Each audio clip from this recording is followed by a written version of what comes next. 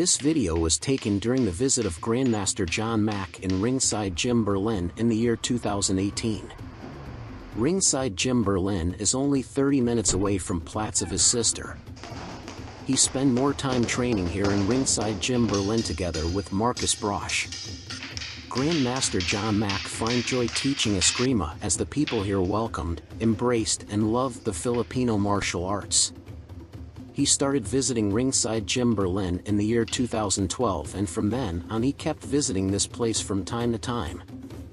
And he was so amazed at the fantastic progressions of their skill level.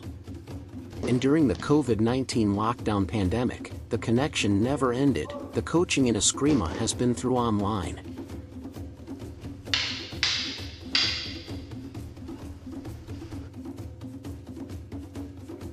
Thank you for watching please feel free to subscribe and share.